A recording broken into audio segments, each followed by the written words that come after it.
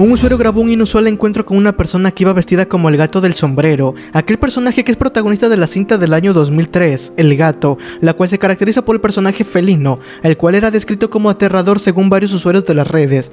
El aspecto del gato del sombrero es inusual y a menudo se describe como extraño o tenebroso. Su vestimenta, que incluye un sombrero gigante y una capa larga, la de una apariencia distintiva que puede resultar perturbadora para algunas personas.